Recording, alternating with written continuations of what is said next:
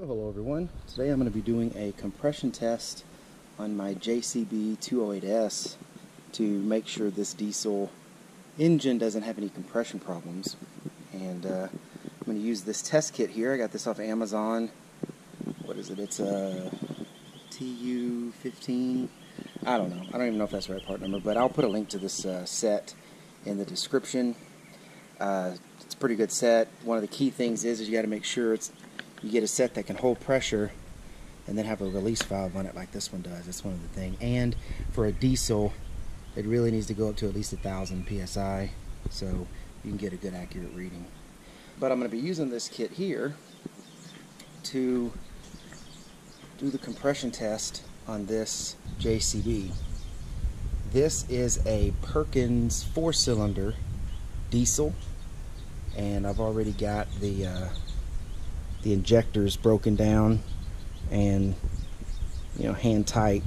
They're in here. I just put them in so that no garbage would get in there but the injectors are in there and I'm going to take those out and we're going to just run a quick compression test on each one of those cylinders make sure they're getting you know at least 400 psi one note I did want to make is when you're doing these compression tests you want to unplug the fuel solenoid on the fuel injectors because when you unplug this that's going to keep the fuel shut off. You don't want the fuel squirting out and going everywhere while you're doing these compression tests. So I unplugged the fuel shut off solenoid to keep it shut off so I don't have fuel flowing as I'm doing this compression test. So all I had to do is uh, unplug that solenoid. All right, so first thing I got to do is I got to take the injector out. All right, so and then in the kit, you have to match up one of the plugs uh, that will work for this injector type. So I found this plug matches up, same size threads.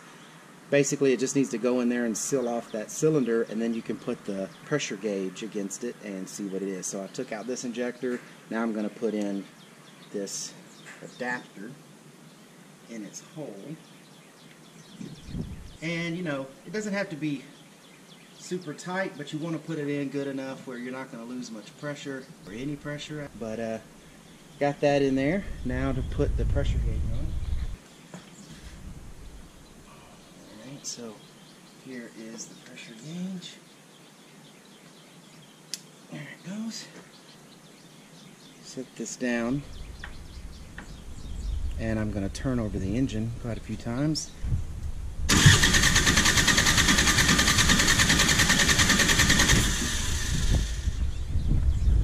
Let's see, what's it reading?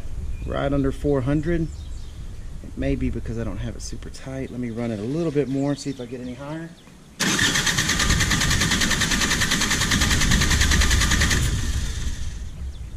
So, yeah, it's reading right about 400, a little bit over 400, and that's about what I expected. Uh, so that should be good. That cylinder is uh, building up enough pressure, and that should be fine. Now let's test the other cylinders.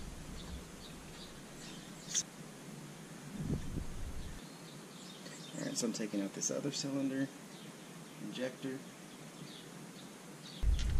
and I'm putting this adapter in the next cylinder. Tighten it nice and snug. Push on pressure adapter, and uh, got to remember to release the pressure out of the valve, go back to zero, and uh, let's run that and see what we get.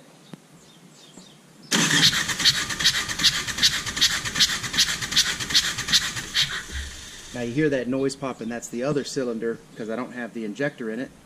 And again, we're getting about the same reading, just a little bit over 400. Should be a good cylinder, shouldn't have any issues going on.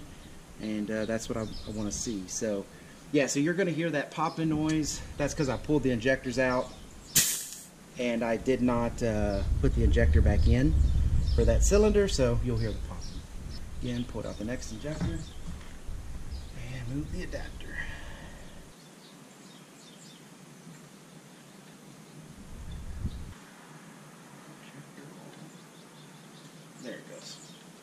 Couldn't see it well.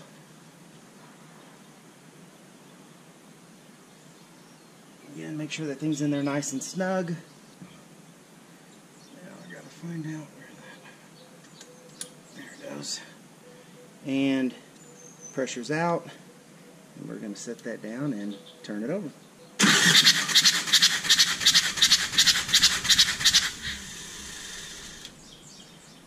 Alright, a little under 400. Let me see if that builds any.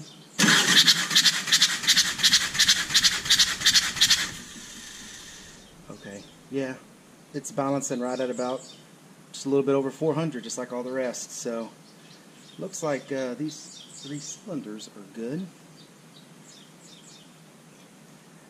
So basically, you want to turn it over and see where the pressure builds up. And that's basically the, the pressure that's building. It takes a few pumps for it to build up all the way because it's small bursts of a lot of pressure. And uh, so you want to run it for a little bit, make sure that the pressure's building up. It'll get to a point where it's just not building up any more pressure, and that's its pressure.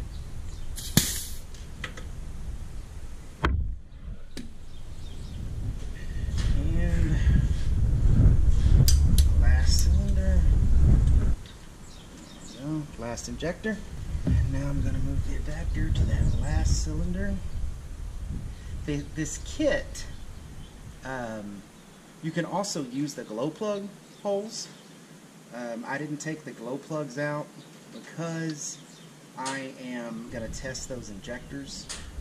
So what's the point of taking out the glow plugs just to put them back in and then turn around and take the injectors out anyway. So I'm using the adapter for the injectors, but the kit does have adapters for many different glow plug styles.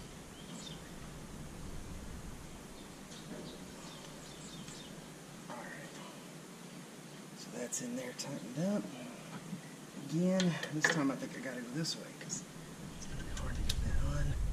There it goes. The pressure has been released. And let's see if this one builds up okay.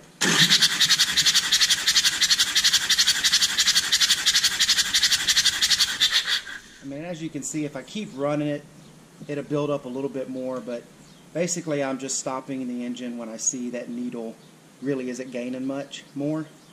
This one went a little bit over because, you know, the, the, more than the rest because I ran it a little bit longer, but but it's pretty much the same as the rest. So it looks like we're doing good. The cylinders are, are fine. There's good compression. And uh, shouldn't have to worry about any loss of compression in there. So I'm going to go ahead and take that adapter out. But I think, uh, I think that's it. I think that proves to me that the head's still good. I don't have pressure loss. So combustion should be working fine as long as those injectors are good. So, all right. Well, if this video was helpful, please uh, give it a thumbs up. Uh, subscribe down there, the little red button in the corner. And uh, until next video, y'all take care.